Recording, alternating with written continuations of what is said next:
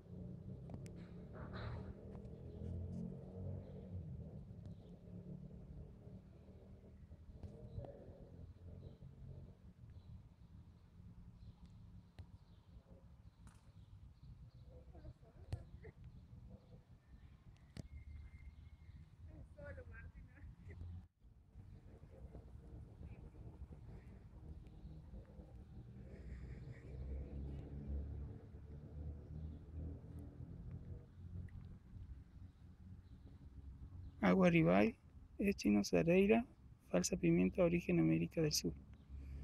Mortero colectivo, usado por los indígenas para morder la algarroba, el chañar y otros granos silvestres por percusión. Donación en Godoy Núñez.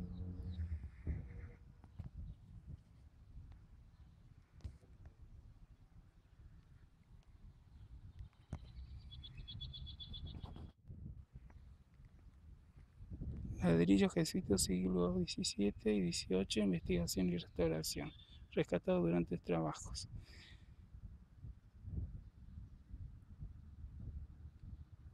El armado de tierra negra y la arena se hacían en los pisaderos en donde el empaste se producía por medio de pisadas de bueyes y después de su modelado la cocción de los ladrillos se realizaba en manos de calor intenso y prolongado.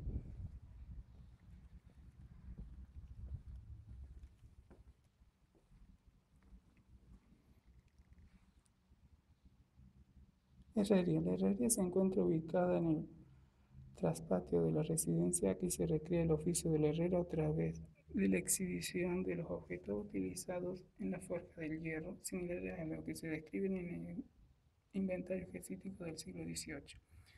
Carentes de maestros expertos en enseñanza de este oficio, fueron los jesuitas quienes impartieron entre los piones de de estancia los conocimientos necesarios para el oficio, requería convirtiéndolos en de obra especializada que rivalizaron en habilidad con sus propios maestros. A mediados del siglo XVII el hierro se importaba de Vizcaya al norte de España en grandes cantidades de barros de sección cuadrada. En América se lo extraía de la región del Chaco santiagueño y Brasil, aunque en menos proporciones. En esta construcción se observa el fuelle, instrumento de madera, y laterales plegables de cuero,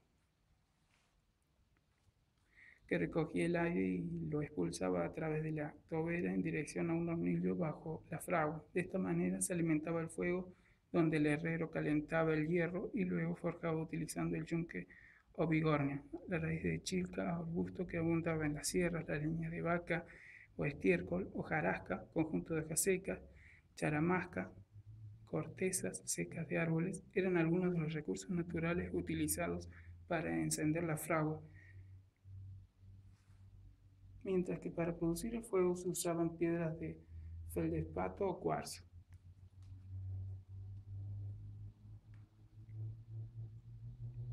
El hierro siempre escaso fue utilizado en obras estrictamente constructivas, herramientas, rejas, clavos, goznes, llaves, cadenas, como también en implementos agrícolas. En estancia de Altagracia aún se conservan las rejas laborales reversibles estradas entre sí, elaborado motivo decorativo que lucen las ventanas de la residencia.